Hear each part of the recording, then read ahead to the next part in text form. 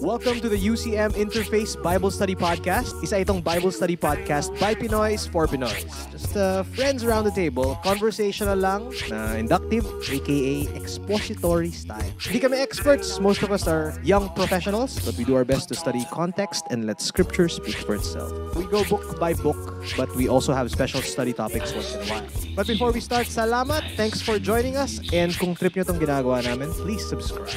And today we've got Ben? Christina. and Rainier. And Gooch. Hello, hello. Okay, so we're gonna cover the letter Of Paul. of Paul to, To? Philemon or Philemon. Yeah. Ano nga ba? Ano ba? Ano ba? Para Nasanay na ako ng Philemon eh. Kasi alam mo naman galing akong America. Ah, wala. American accent. Hindi, pero I kasi don't. I'm not sure yung phi, yung yung pronunciation of phi. eh. I don't know. about it. Philemon. Philemon. Oh, so Siguro. Si Philemon. Probably Philemon. It's a yeah. Greek naman. It's a Yeah. Greek name. right, okay. So maybe kanya-kanya na lang tayo. Oo. Ako kasi sige. I'm comfortable with Philemon eh. Ako naman Philemon. Philemon. Kasi nga Ah, eh.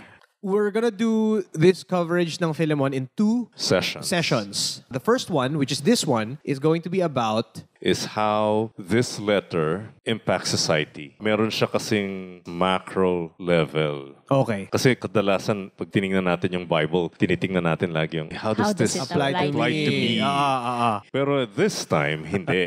Makikita natin that this really has application for society. Right. Okay. And how Christians, because we have a public faith, can impact society. And the second session, Pupunta na dyan sa medyo personal level. okay, personal, personal, level. individual. Oo. Okay. Before we start, why don't we go through our reading? And Oo. here we go. The letter of Paul to Philemon.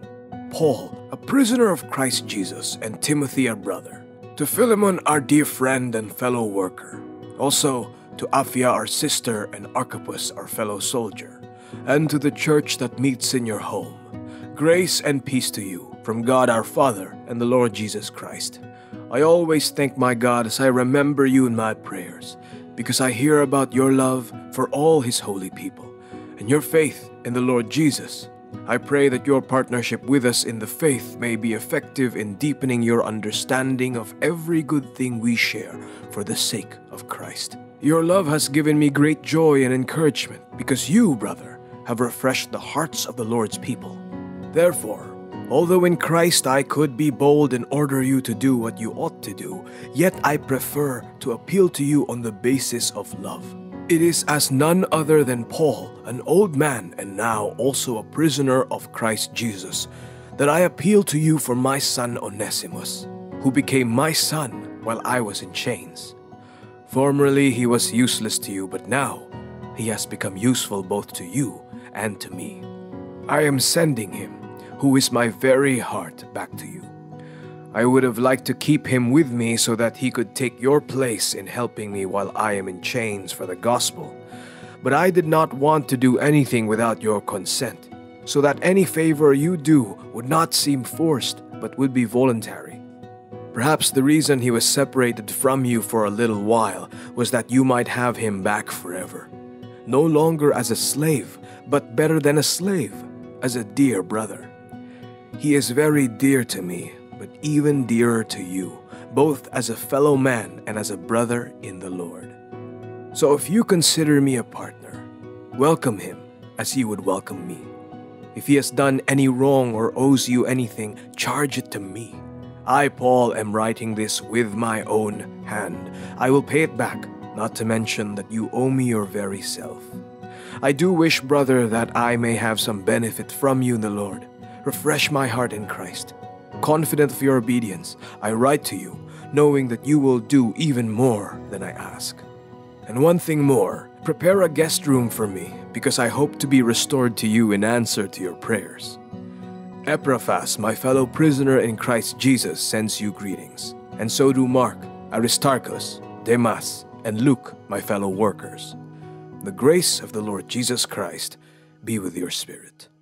Why don't we talk about yung Background nung background letter. background of the letter. First, I'm going to talk about the yung summary, Right. which is basically yung request ni Paul. Meron kasing slave na tumakbo. Pangalan ng slave na to ay si Onesimus. Oo, yung tagagawa ng barong. Oh. Tagagawa ng? Barong ni Philemon. Alam mo ba yun? Yung brand ng Onesimus.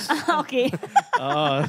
so, Barong. Oo. tumakbo siya after a certain crime. Pero hindi, Possibly. possibly a crime. It wasn't mentioned in hindi the siya letter. mentioned. And then, somewhere along the way, got to meet Paul. Or maybe, it could be that he, He probably knew went. Paul Oo. already. He intentionally went to Paul Oo. kasi kilala ni Paul yung master niya, Oo. si Philemon. In the process of their relationship, naging believer tong si Onesimus. And then, naging ministry helper ni Paul Habang nakakulong siya. habang nakakulong siya. Oo. Diba? And then, uh, nag-request si Paul through this letter, sending it to Onesimus' master, who is si Philemon, requesting na tanggapin ulit ni Philemon si Onesimus, Si sa Onesimus. household niya without punishment. Without the punishment required by the Roman law. Which is... Aba, Ah, bugbugin kasi ka kaya. dahil tumaka siya. Oo. Pwede kang bugbugin. Okay. Yeah, yeah, severe punishment. Tsaka, ang interesting thing dito is that kasi slave si Onesimus, di ba? And he ran away. That's a crime. That's a crime. Okay. And dangerous yung position niya kasi parang wala siyang rights that cover. Wala siyang Wala. Wala ka coverage of talaga. rights. Wala. Kaya pwede siyang i-abuse at walang, Yeah. wala, okay lang. Yeah. Okay. You could be beaten or killed. Yun lang naman ang pupuntahan mo eh. Oo. Kasi crime yung maglayas. Yung nabasa ko is that uh, there are other stories daw na pagka merong slave na tumakas, sana hindi sila mahanap ng master nila. Tapos yung master, kakausapin yung parang tanod dun. Pakihanap nga Oo, yung, pakihanap. uh, Mga informal yun na arrangement. Pag nahanap yun, sigurado, gulpi yan. Or, bibigyan sila ng trabaho ng master nila na sobrang inhumane. Ilang taon, patay na sila. Isa pa rin dito sa letter ni Paul. This is the shortest letter of Paul. Yeah, one Ang tawag natin dyan, epistle, di ba? Yan, epistle. Pero ito yung pinakamaigsi. It's only one chapter, 25 verses. Pero ah, nilagay nila to sa may parang bandang huli na ng Bible, eh, no? Others are saying that probably it should have been placed before Colossians. Kasi this is, I mean, It Philemon happened is in, in oo, ang Colossae. setting nito ay Colossae. There are nine names in the letter, nine names that were mentioned in the letter that are also mentioned in the letter of Paul to the, The Colossians. Colossians. Yeah. Andun ang pangalan ni Onesimus, andun ang pangalan ni Luke, andun ang pangalan ni Philemon. So maraming mga pangalan na nandun sa letter to Philemon na nandun din sa letter to Colossians. And the fact that Philemon lives in Colossae, so talagang isang, ma- mag- kumbaga magkakamag-anak tong letters na to. Right, Makes right. sense. Oo. Kasi may nabasa ako na si Onesimus was actually bringing the letter of Paul to the Colossian church. Mm. And at the same time, dahil papunta na rin siya doon, parang sinama tong letter to Philemon. And that being said, let me cover yung where and when. Sinulat ng sabay daw yung letter to the Colossians. oo, at yung Philemon. oo. When Paul was in prison around AD 58 to 60, pero may nagsabi din na AD 56. Oo, depende, depende. na lang kung, Kung saan, nga ba? Oo. o may, may theories Saan siya kasi yan, nakakulong dalawa. nung Ang time na theories, baka sinulat nito ni Paul nung na-preso daw siya sa Ephesus. So that's like early 50s. 50s, eh kung doon naman siya sa Rome na preso, ano na yan, ang 60, 80, mga ganong petsa na yan.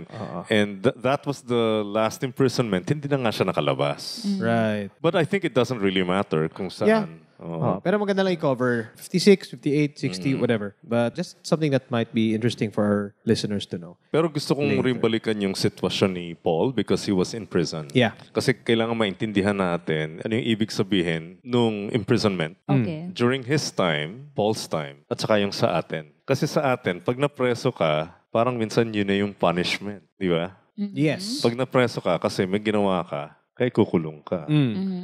And then, of course, may trial pa rin. Pero, yun na yung immediate punishment na yun. Sa kanila, hindi. Hindi yun ang punishment. Ano pala yun? Maghihintay ka lang dun sa totoong punishment mo. Okay. Oo, na pwede kang magkilutin o bitayin. That was the actual punishment. When you're in prison, they're still deciding how to punish you. Ang hassle yun ah. Oo, Ah, ganun. okay, okay.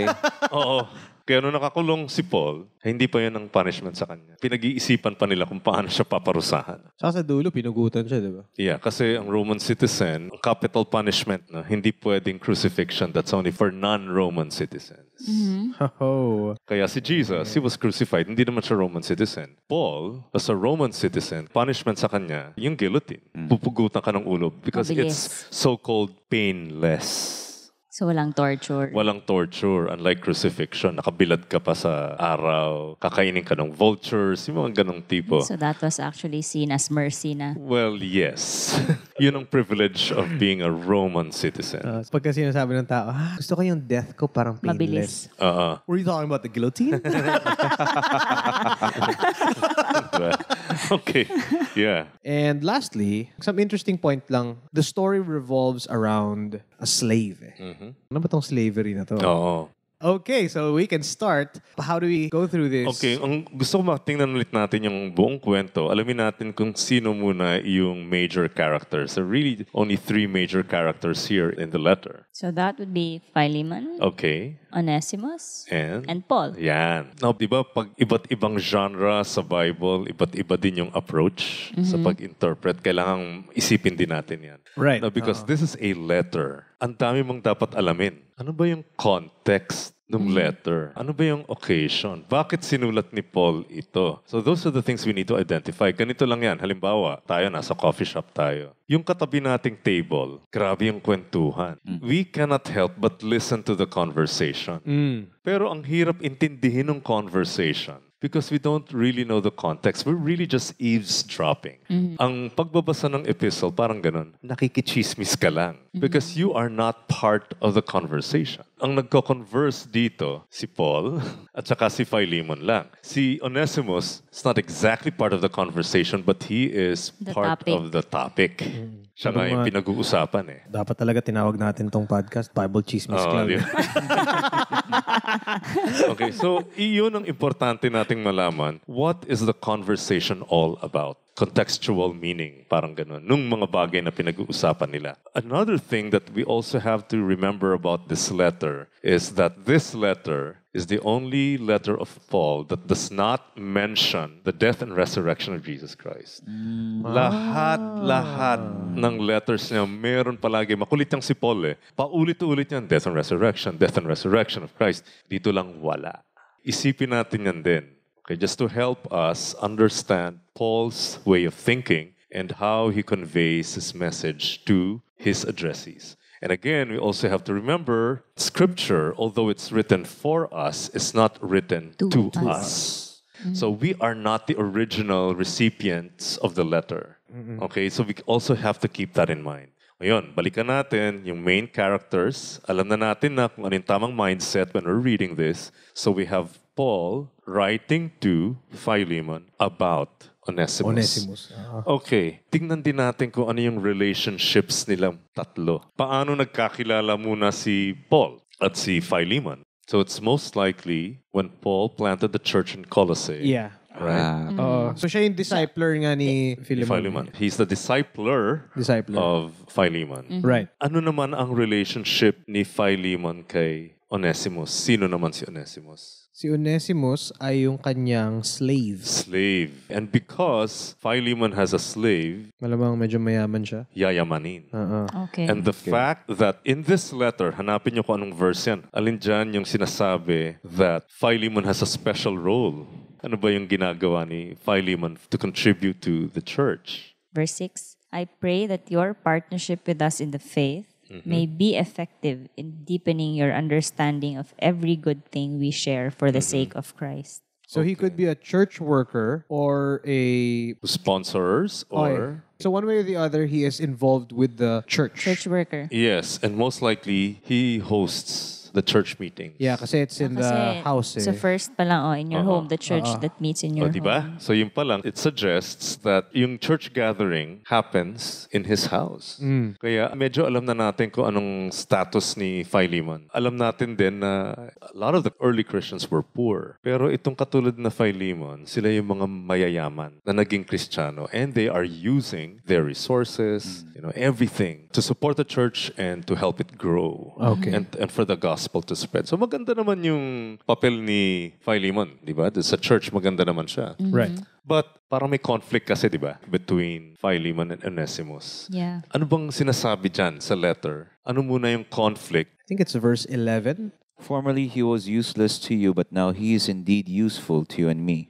18. 18, it says here, if he has wronged you at all or owes you anything, charge that to my account. Okay, so implied in that statement, Either nagnakaw ba siya? Or may ginawa siya and made a lot of damage or loss. right, Yeah. it's not identified clearly, Right? Hindi naman sinabi talaga ni Paul kung ano yun. Nung Pero mukha talagang may ginawang masama itong si Onesimus. It's so bad that Onesimus thought "Oh, the only thing I could do is just to run away. Kaya lang, anong problema sa pagiging runaway slave tulad ng nabanggit natin kanina? Ano Wala maulit siyang yun? rights.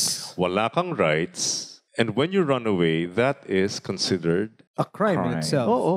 Criminal na pala tong si Onesimus. He's a Right. fugitive. Meron siyang ginawang kasalanan at umiiwas siya dun sa punishment of what he committed. Sa lahat naman ng gagawin niya, but sana nagtago na lang siya, bakit kaya siya tumakbo kay Paul? Teka, paano niya nakilala si Paul? Siguro sa bahay ni Philemon. Yeah, oh. Oo. Kasi Paul was the one who planted the church there. Right. Nakilala na niya si Paul doon pa lang. Kilala na rin niya yung character ni Paul. Now, why would Onesimus run to Baka somebody naghanap- like Paul? Naghanap ng kakampi. Naghanap siya kaya ng kakampi? Isipin natin ganito. Kapag kayo may problema, kanino kayo tumatakbo? Someone you trust and feel comfortable with. Aha. Kaya mapagkakatiwalaan ko to, Mm. Pwede akong tumakbo sa kanya. Oo. Tsaka nakita niya yung buhay ni Paul sa pagplant niya, di ba? I'm Right. sure he stayed for a while there. Yes. So nakita niya yung day in, day out life ni Paul. Oo, Nakita niya kung na, sino "Totoo, talaga yung pagkatao ni Paul. Okay to ah. Okay tong tao na to ah. Meron din ba kayong mga ganong klaseng tao sa buhay nyo na, teka naman, problema ako, kailangan kong kausapin na to. Meron din ba kayong mga ganon? Well, Yes. hindi pa naman ako umaabot sa point na Nagnakaw. Oh, or like, umabot sa point na kailangan kong tumakbo. yung ganong Oh, Yeah. klaseng problema. But Pero when you're facing something big, I have some people na it's like, matatakbuhan mo. matatakbuhan Yeah. ko to. Ang ganda lang kasi for someone like Onesimus na walang status, alam niya may matatakbuhan pa rin siya at hindi siya i-reject despite his kawalan niya ng status sa society. Yeah. He's not important at all in Roman society. Diba? Slave ka lang naman. You're really just a property of someone. Even then, he had no fear or qualms about going to Paul. Kasi alam ko matutulungan ako nito. Ngayon, how did Paul try to resolve the issue? Ano ngayang, anong approach na gusto niyang gawin? What is his ultimate goal? Ah, yung, Yung- 15, 16. Perhaps the reason he was separated from you for a little while was that you might have him back forever. No longer as a slave, but better than a slave, as a dear brother. No longer as a slave, But better. but Better, than better. a slave. but as a dear brother. Anong gusto niyang palabasin? That Onesimus is your equal. Is basically family na. no longer as a slave, tinatanggal na niya yung king. Societal ranking. Oo, tinatanggal na yun. Hierarchy. At ang gusto niyang gawin ngayon, sila ni. Philemon are of equal status. And not just of equal status, of family.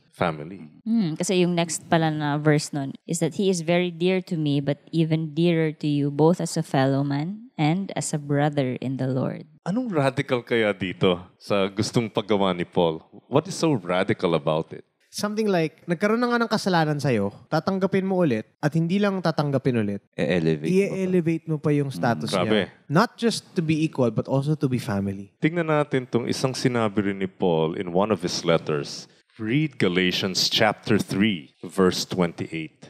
It says here, there's neither Jew nor Greek, there's neither slave nor free, there's no female and no male, for you are all one in Christ Jesus. Okay, tingnan niyo yung ginawa niyang pairings. Ano-ano ulit yung pairings na to? Neither Jew nor Not Greek, Jew nor Greek. neither slave nor free, male Neither nor male nor female. Tingnan nyo, Jew nor Greek. Ano yung classification yan? Citizen versus outsider. Or pwede ring ethnic identity, Mm. national identity, Yeah. race. Race. Yep. Considering na laging meron silang away. Wala na palang ganun. Uh-uh. Multiracial, multicultural. Di ba? Binubura. Binubura yan. Not that you're going to lose your ethnic identity. You can't. You won't. But in terms of value, in terms of worth, wala na yun. Pantay, Okay, pantay-pantay. Ano yung sumunod? Slave nor free. Slave nor free. This talks about Social, Social status. status. social or economic, Economic. status Economical even. status. Grabe, no? And to think this is first century. Nga. Whether you're rich or you're poor. You're all the same. And then, of course, ang pinaka-sensitive, like, even now, male nor female. Na may mga nabasa ako dati na, well, although, kina-question ng iba whether it's true or not, pero nagandahan ako, kaya maniniwala na lang ako. May nagsabi kasi that this was part of the cycle of prayers of Jewish men. Yung formula ng prayer na yan is, you know, they pray this in the morning when they get up and then they say, Oh Jehovah, I praise you because you made me a Jew mm. and not a Gentile, that I am a free man and not a slave, that I am a man and not a woman. Mm. Yeah, I've read that as well. Yeah. Right. Supposedly, Paul also recited this prayer as a Jewish male. So this was part of his routine. But when he became a Christian, he realized that this is no longer true because we are all one in Christ. But using the same formula of the prayer, he redeemed it, Yeah. changed its content, and gave it a Christian message of equality. So it's very, very radical. Ngayon, we will compare this letter of Paul to another ancient letter, and this is the letter of Pliny the Younger to Sabinianus. Marami kasing similarities itong letter na to dun sa letter ni Paul kay Philemon. So before anything else, sino ba si Pliny? Okay, si Pliny the Younger ay isang Roman senator. Naging consul na rin siya. He was a lawyer, politician, a senior civil servant. Bigatin we to, have, ah. Oo, oh, bigat siya. Iba siya kay Pliny the Elder. Elder. Kasi itong Pliny the Elder, yung uncle niya ay isang philosopher naman. Okay. To our uh, listeners, if you are listening on YouTube, we will put this on screen. The letter para you have reference. The letter of Pliny to Sabinianus.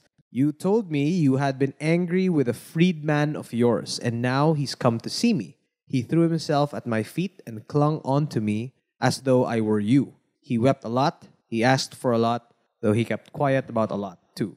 To sum it up, he made me believe that he was genuinely sorry. I think he is a changed character because he really does feel that he did wrong. Yes, I know you are angry, and I know too that you have a right to be angry. But mercy earns most praise when anger is fully justified.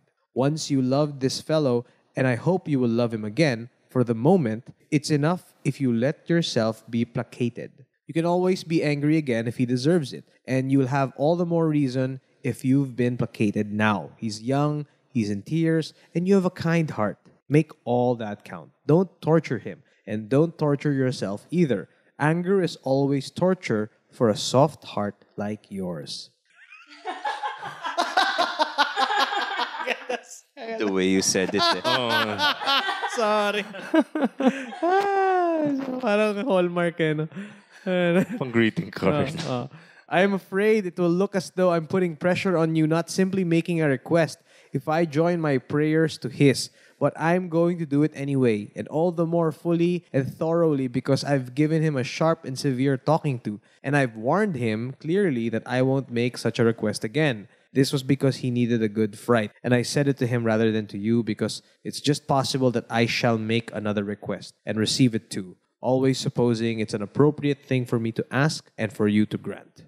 Yan. Game. Okay, napansin niyo ba na may similarities yung letter ni Pliny to Sabinianus sa letter ni Paul kay Philemon? Yeah, merong tatlong tao din. Okay. May master at merong, dito hindi nga slave, freedman to, eh, di ba? Freedman pa nga eh. Oh, ano nga ba ang freedman? Ano sila yung mga dating slaves? Ngayon, let's say nabayaran na nila yung utang nila o nabili na nila yung whatever is Freedom, the oh. price of the slavery. Now you're considered a freedman. Pero minsan, yung mga freedman na yan, hindi pa rin makakuha ng trabaho. Bumabalik sila dun sa slave owners nila. Okay. Well, they get paid, pero kumbaga, babarating ka talaga. Ah, so may sweldo na sila by this Meron, time, but it's not sufficient. And it's mainly for the sake of a shelter, somewhere to, Oo. s- Oo, yun, may to makain stay ka home, lang. It really is just for survival. Hindi aangat ang buhay mo. And then, itong freedman na to, may kasalanan siyang ginawa dito kay Sabinianus eh. Tapos, tumakbo siya kay Kay Pliny. Pliny, the younger. Na, oo, to uh, ask for I mercy. think it's remorse for what Ah. he's done. So sumulat si Pliny kay Sabinianus the same way that Paul wrote to Philemon. Okay. Meron din kasing konting kaibahan eh. Actually, hindi lang naman konti. Medyo malaki yata ang kaibahan. Alamin natin, what are the primary concerns of Pliny in addressing the issue? Kaya nabasa dun sa anger is Parang, always torture for a soft heart like yours eh. Yun yung matindi. From the looks of it, yung concern ni Pliny is not really about the freedman. It's about yung high blood ni Okay. Sabinianos na Ah, huwag ka na masyado. magalit. Oo. Ah, ah. Masasaktan ka lang eh, di ba? Anger leads to the dark side eh, di ba? Gusto ko yung sinabi niya, mercy earns most praise when anger is fully justified. Yun, no? Parang, sige magalit ka lang. Magalit ka, Mas pero... maraming mercy. Oo. Tsaka, mas may praise yung mercy mo. Cool. Dahil talagang justified yung anger mo. Tama naman na galit na galit ka eh. Pero, kung nagpakabait ka na lang, you become merciful, ay nako. Pogi ka. Oh, you earn pogi points. So the concern of Pliny here is more the welfare of maybe emotional welfare, psychological welfare of Sabinianus. Unlike Paul, may disruption na gustong mangyari si Paul eh. Paul is asking Philemon to take Onesimus back as your equal. Dito sa letter ni Pliny kay Sabinianus, meron bang ganon? May disruption ba ng social status? Wala. Wala. Wala. you just stay where you are. Status quo tayo. Ang importante, huwag ka lang magalit because that is for your own good. Kita nyo na ibang-iba ang worldview ni Paul kaysa kay Pliny. And the difference is because Paul has a Christian worldview. Kaya nga kung babalikan natin ulit yung Galatians 3.28 that there is neither Jew nor Greek, slave nor free, male nor female. Ito isang tanong. Bakit ba itong si Paul? Why didn't he call for the abolition of slavery? Yun. Di ba? Ah, magandang Kasi tanong. may mga nagsabi nun na talaga namang pro-slavery ang Bible. Tingnan niyo si Paul, hindi naman niya sinabing i-abolish ang slavery. Bakit kaya hindi na lang niya tinawag lahat ng mga house churches sa iba't ibang city at sabihin nila na pumunta sila lahat sa Rome, may mga dalang placards, ibagsak ang slavery, ganyan-ganyan. Bakit wala silang ginawang ganun? What would happen if all the slaves suddenly were granted freedom? If everybody got freedom, walang societal structure to support them with choices, The slaves, opportunities. Yeah, so wala. From slave to unemployed to nothing. Wala, wala silang... Wala kang pupuntahan, wala kang trabaho, wala kang kakainin. So there is no structure in place to provide protection, provisions Rights. Right. for slaves or freed slaves. Yeah. Wala. Mas lalaki pa tuloy yung problema. Kanina nga share about yung freedman, di ba? Siya nga, slave, nabayaran niya utang niya, tapos bumalik din siya sa slave master Doon pa rin siya niya. nagtatrabaho sa slave master niya. At sabi nga dun sa mga documents sa first century about slavery, mahirap pa rin yung condition ng mga freedmen who went back to their slave masters to work. Hirap pa din sila. So they're really like slaves. Parang wala pa rin nabago sa status nila. Pinab- sinisweldohan ka, pero but even your wages are very meager. Hindi ka aangat. Hindi ka yayaman dito sa pagiging freedman mo. And very, very few freedmen actually made it. Kaunti lang sila. They are more the exception than the rule. So can you imagine if Paul and the early Christians all asked for the, for the Abolition. abolition of slavery? Ano mangyayari? Mas bibigat pa ang problema. You will never escape poverty Ah, and okay.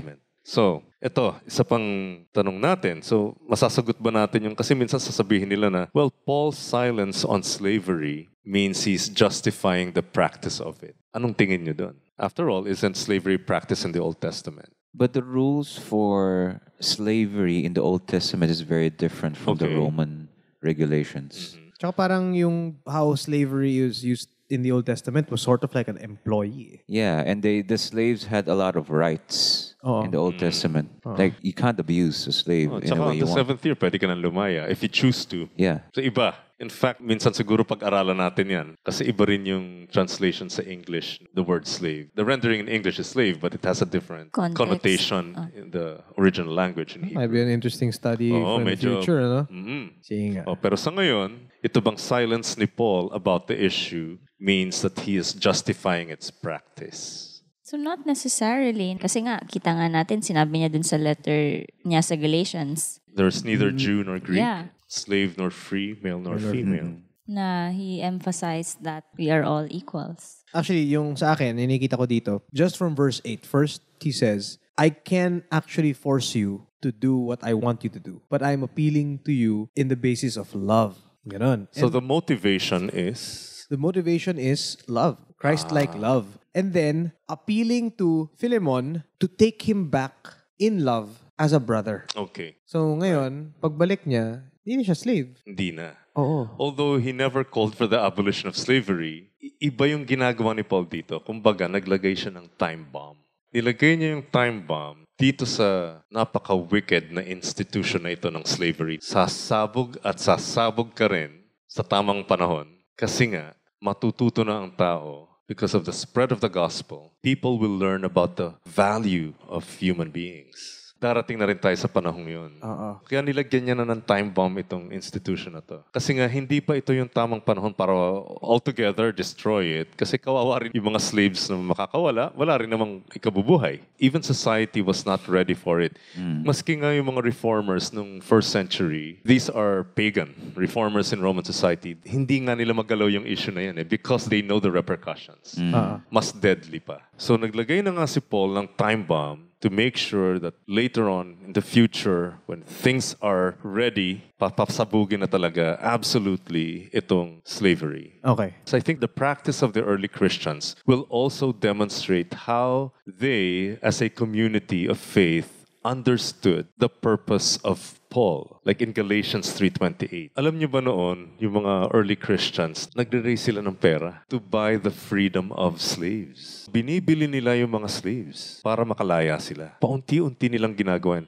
That's how the time bomb works. Until nagkaroon na nga ng isang napakalaking event noon sa England dahil kay William Wilberforce. Saan ba siya kinilala itong si William Wilberforce? The abolition of slavery. Right. Pero after so many attempts, palaging yung pinapasa niyang law, nare-reject. Alam ko parang bumbuhin yung Oo. inayos yun eh. Mm. Wait, kailan to? Si Wilberforce lived 1759 to 1833 and I know na when he gave his life to Christ, that was one of the things that he was convicted. Right. Kasi yung mentor niya, What ang may about- influence sa kanya, si John Newton, who was a slave trader, became a Christian. See Amazing Grace? He wrote Amazing Grace. Yun yung kwento ng buhay niya. So itong naging malaking influence kay William Wilberforce. Ah, Kaya ang sabi nga niya ni William Wilberforce noon, ayoko na, gusto ko yatang maging full-time Christian worker na. Then sabi ni Newton, no, nasa politics ka, diyan ka. At ipaglaban mo na nga yung issue na to about slavery. At yun na nga, yun ang tinupad niya. But it took so many years before finally the law was passed. At nung nagawa na nga itong resolution, namatay naman siya. Kumbaga hinintay lang niyang malabas yung resolution at na, saka siya namatay. Ito yung ginawa ni Paul. Ito yung gusto niya mangyari. There's a disruption of the social hierarchy. He was preaching the gospel, but the content of that message also means changes in society. Ano ang impact nito sa atin ngayon? We have the gospel. Is the gospel simply a way to escape hell? Is this just a ticket to heaven? The gospel is not just to save us for the sake of escaping hell, but it also transforms lives. You know, it gives us new joy. It's not just to prevent us from something that's terrible. Aside from that, it also adds something more. Mm-hmm. A bigger joy, a bigger, it gives something more beautiful, far and above what, not just escaping something bad. I think from the prayer that Jesus taught, your kingdom Come. come. and your will be done on earth as it is in heaven. Mm. And I think what that means is that when the gospel is inside our hearts, it transforms not just us, but also our relationships with other people. Mm. And also seeing na there is darkness in the world and the light, I have it.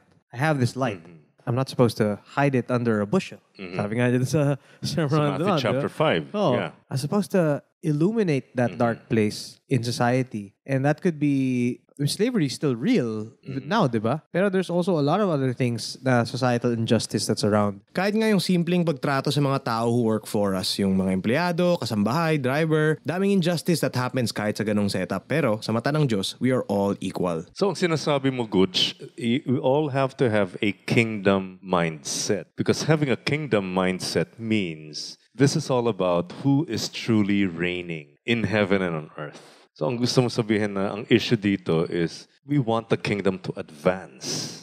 Uh, So this is not just about, okay, mabait na ako ngayon kasi hindi na ako marunong mag-chismis. Ah, hindi na rin ako nagda-drugs ngayon eh. Oo. Oh, hindi na ako nanonood ng porn. So mabait na ako, period. I can go to heaven. So that is not enough. Transformation means it's not just y- Internal. internal, but your faith really becomes public. And sometimes there are issues that minsan mahirap ayusin agad. Ang importante maglagay na tayo ng mga time bomb dyan. And we use the gospel as the time bomb to destroy all these structures that are oppressing people. Mahirap nga, halimbawa dito sa Philippines eh, no? Kaya ang dami nag-abroad kasi walang makuhang trabaho, nahihirapan sila. And then you hear people saying, kung masipag ka lang dito sa Pilipinas, Yayaman ka. Yayaman ka. But that is not true. That is a very simplistic view of poverty. Because you also have to deal with structural evils in society that are oppressing all of us. At ito yung dapat lagyan na ng mga time bomb. And our, really, our only weapon is the gospel. Because you can legislate. Ang bawa, na-legislate na nga yung, o bawal na slavery ah. Pero na-solve pa rin ba ito? Can merely legislating morality change society? Naikot-ikutan yan eh. Kasi hanggat hindi nagbabago yung Yung puso. ang puso ng tao, pare-pareho pa rin yan. Mm. Kaya nga ang sabi ni Paul, take him as a brother, no longer as a slave. It all begins with that. And you can't have that kind of relationship if, first of all, you don't have a relationship with Christ. That's true. And as we end, let's end with the words of Jesus in red in Sermon on the Mount, Matthew 5 13 to 16.